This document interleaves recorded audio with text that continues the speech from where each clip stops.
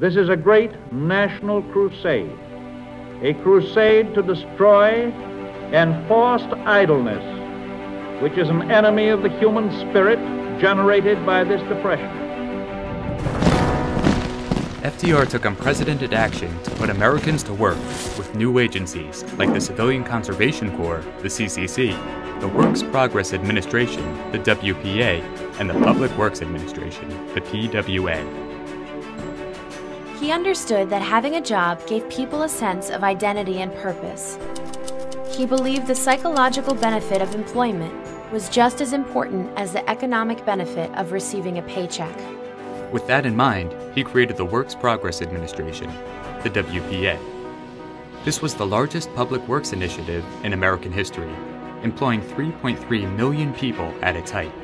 The WPA did not contract with private companies. It hired the unemployed directly.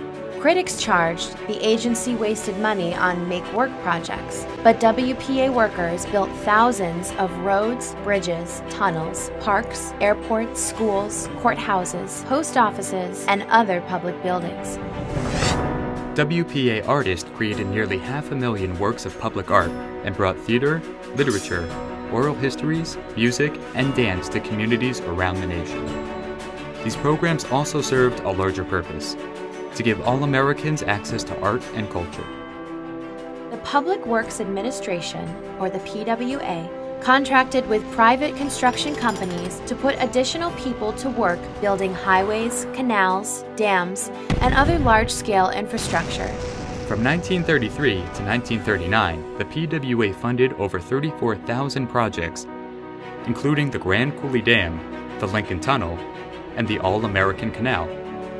The Civilian Conservation Corps, or the CCC, a program to put young men aged 17 to 24 to work on conservation projects, enlisted nearly 250,000 men in its first three months. Very good to be here at these Virginia CCC camps. I wish I could see them all over the country. The CCC planted over 2 billion trees, fought forest fires, built trails, campgrounds, and reservoirs, and aided with soil conservation programs throughout America's national forests and parks. The roads, bridges, tunnels, dams, sidewalks, schools, post offices, hospitals, airports, parks, public art, forests, and national parks built by the WPA, the PWA, and the CCC during the Great Depression are still being used and enjoyed by millions of Americans each day. Take more than a few years for us to solve challenges that have built up over decades. It'll require common effort and shared responsibility and the kind of bold, persistent experimentation that Franklin Roosevelt pursued during the only crisis worse than this one